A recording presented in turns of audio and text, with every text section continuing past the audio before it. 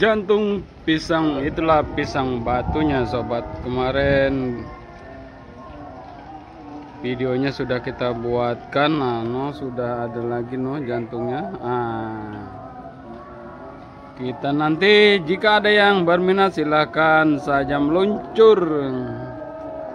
Saya saat ini Alhamdulillah akan memasak jantung pisang yang kemarin kita sudah petik. Hmm, ayo berangkat. Sore ini tumis hmm, jantung hati eh, jantung hati. Jantung pisang batong. Nah, benar lagi kita akan tuangkan minyaknya. Ini nah tumis jantung hati.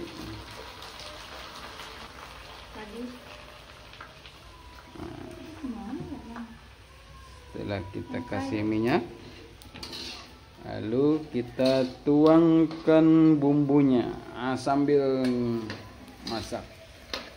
Aduh itu gosong gosong gosong gosong. Itu gosong. Ini ini ini kita kasih matang dulu bumbunya.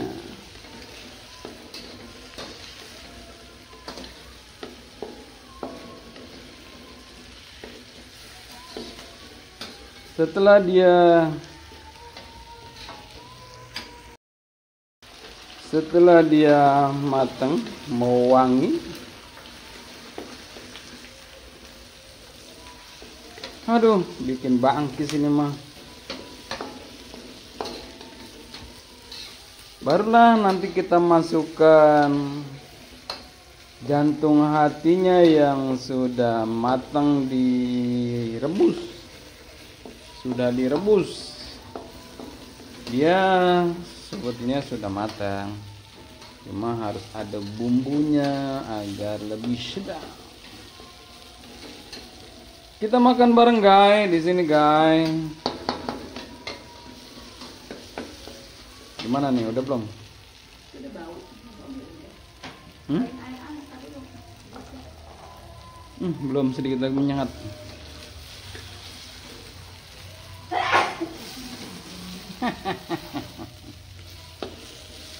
Hmm, bumbunya mantep bah. Ini masakan ala Romeo. Romeo Alejandro Nah, bu kasih itunya bu air bu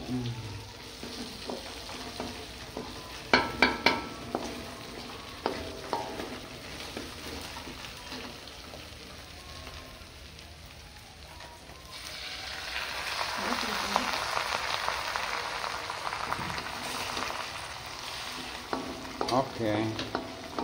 Setelah kita kasih air panas yang kita ambil dari mesin koi, koi, mesin koi,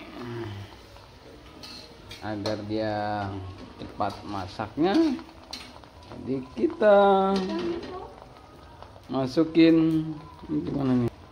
Ya tuang be udah. Tuang be, udah katanya. Oke. Itu jantung hatinya. Sudah kita tuang. Kita aduk-aduk sampai merata sobat.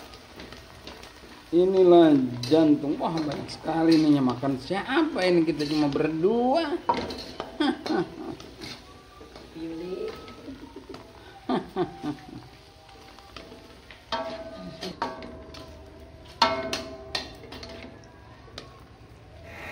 Oke, sohibku Romeo Era Channel telah selesai masaknya. Tinggal kita sedikit tunggu sampai dia benar-benar tercium aroma yang sedap keluar. tinggal kita cicip Setelah itu kita angkat dan ingat jangan lewat saja. Subscribe and share jika bermanfaat. Ternyata jantung pisang pun bisa diolah. Ini ala orang Betawi zaman dahulu. Jadi apa pun bisa dimasak untuk menambah nikmatnya makan kita. Share and comment. Terima kasih. Wassalamualaikum warahmatullahi wabarakatuh.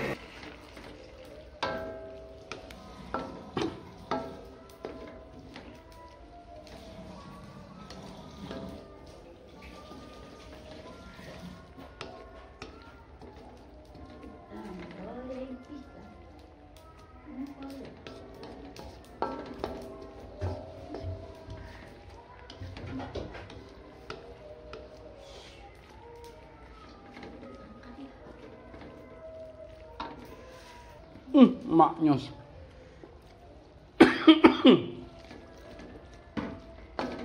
Mantap sekali sobat. Ini baru jantung hati yang kita masak.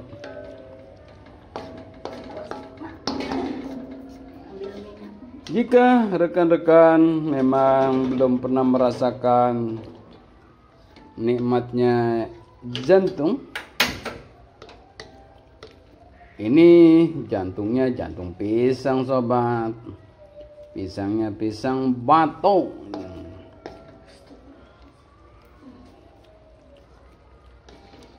Yang jika kita makan nikmat Oke, mari kita angkat sobat kita nikmati yang mau merapat.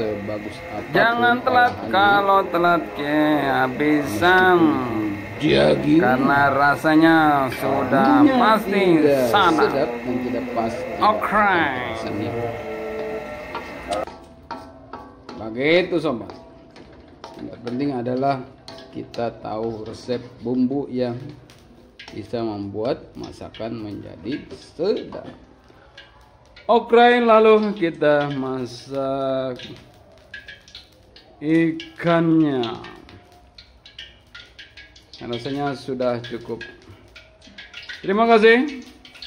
Sekilas info, semoga manfaat dan bisa makan bersama. Assalamualaikum warahmatullahi wabarakatuh.